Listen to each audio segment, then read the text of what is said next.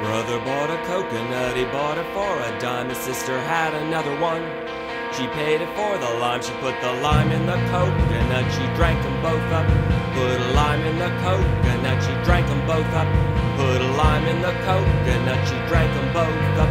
Put a lime in the coconut, she called